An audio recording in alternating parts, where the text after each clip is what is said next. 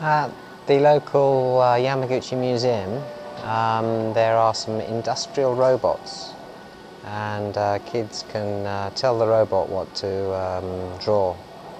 And the robots um, very uh, speedily and adeptly uh, bring out um, uh, marbles, uh, small marbles, which another uh, sort of spider-like robot then uh, very speedily arranges to the um, instructions on the um, computer here. And it's putting them on a sort of a kind of go board very quickly. Even though that they were poured out at a pretty random order, you can see where they are and it um, puts them into the places directed by the um, uh, computer screen here. And then it cleans up the unused marbles and the other, its partner robot, it really looks like that they're um, intentional. It makes you feel that they really are thinking about it.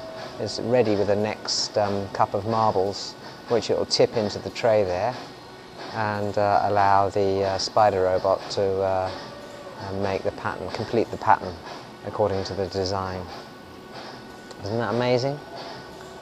Uh, they're made by Fanuc, which I've never heard before, but apparently um, most of the robots in the world are made in Japan, and so I presume it's a Japanese company, possibly even a uh, Yamaguchi company. I shall ask the guy at the uh, counter where Fanuc is from. すみません。あの、ファヌックという会社は山口の会社ですかあ、いえ、違います。どこ日本に 日本、日本の会社。日本の和歌山かメーカー。はははそっちありがとうございます。Wakayama Prefecture or Mie Prefecture, apparently, these uh, robots are from. Um, and this robot over on the, the, the same kind of thing, industrial robots. Um, uh, they will put together a, uh, a wooden, wooden robot, a wooden toy robot, according to the um, instructions that the children give it. So it's going to first of all put on its hand, which it's just done, and then pick up the parts over here the smiley face, the green torso, and the blue feet, and um, put together a robot. Uh, even though they aren't quite, um, you know, they're arranged in non digital formation, uh, it's going to first of all get the torso here and put on the arms and legs and um, head that my um, daughter chose. She chose it and she's not even bothering to have a look. But you see here she's chosen the smiley head and the blue feet. Uh, it's from the feet up. And so it goes and gets the feet and um, inserts them into the. Wow, isn't that cool? Inserts them into the torso. Wow.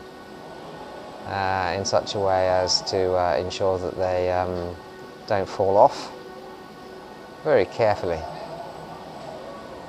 and uh, in an analog fashion, I presume, because the legs aren't exactly in the in the perfect places. You know, they're slightly off kilter there, but it doesn't matter because these uh, robots can see and cooperate with each other. And here they are, uh, the same robots, um, making a car in a um, nearby factory, presumably the Mat- Matsuda factory in Hofu, and there they're working together. And uh, this is what the uh, Japanese mind can do because uh, whilst uh, the Japanese can't make theories, they can think in uh, visual and three dimensional um, imagineering. Imagineering is a, the word comes from America, but the fact, uh, the, the actual imagineering is done in Japan. Isn't that brilliant? And then I think it takes it apart again um, if it's required to do so. Uh, so uh, the Japanese are the best Im- Imagineers in the world, and uh, yeah, they, they waved the robot and uh, showed off their stuff. And now they're going to take it apart again. Isn't that cool, eh? They're saying.